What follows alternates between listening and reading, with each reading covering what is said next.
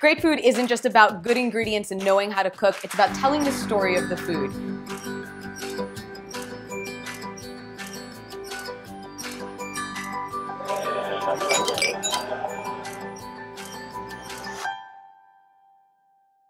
Hey guys, what's up? I'm Cara Di Falco. This is Cara's Cucina, and Carlos Ruiz, mixologist, is back in with the Cucina with us again today, and he's going to show us how to make another delicious cocktail that you can do right at home. What are we making today? So today we are making a Moscow Mule, one of the most Super classic, popular super popular right cocktail. now. Yes, it is everywhere. You will find it at every cocktail menu. And even the glasses, the, the copper glasses make such a great gift, a hostess gift, a, a whatever, you know. They do, they do, and also it just keeps the, the cocktail cold, and they look cool. So Yeah. why not? Okay, so what are we using today? All right, so today we're gonna be using a little prairie vodka, some fresh lime juice, a little honey, and then we're gonna top it off with uh, ginger beer.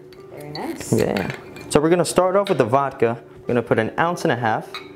Uh, for this one, you don't need to shake it. Um, if you want it, if you want to shake it, go ahead, but no need.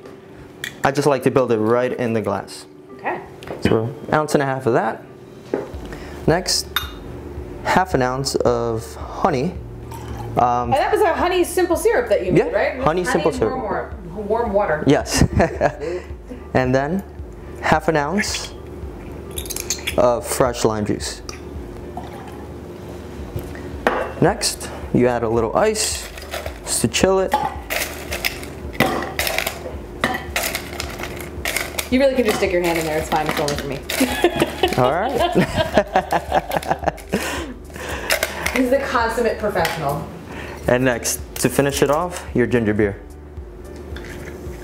Oh yeah. And now if you would like, you could garnish it with the lime, mint, rosemary, whatever you have. Um, no need, but today. why not? We'll make things you. There you go. And voila. Very Moscow nice. Mule. I'm gonna give it a shot. Carlos, thank you so much. As always, guys, listen, the recipe is gonna be on caradifalco.com. Follow me on Facebook, Twitter, and Instagram. Follow him, Cocktails by C, on Instagram. He's got all kinds of great stuff for you. Cheers.